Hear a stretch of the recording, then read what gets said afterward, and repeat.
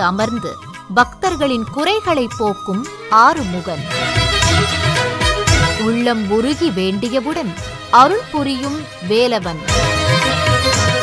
திருவண்ணாமலை துரிஞ்சாபுரம் புஷ்பகிரி மலையில் வீற்றிருக்கும் அருள்மிகு ஸ்ரீ வள்ளி தேவசேனா சமேத ஸ்ரீ பாலசுப்பிரமணிய சுவாமி திருக்கோவில் கும்பாபிஷேக சிறப்பு தரிசனம்.